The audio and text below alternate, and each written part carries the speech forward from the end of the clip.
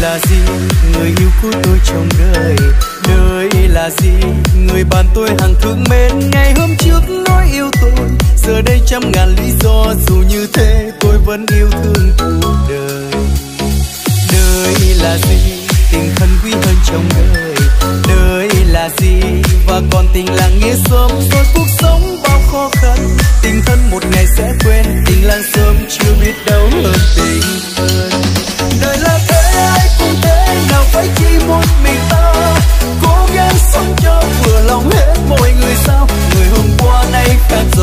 them.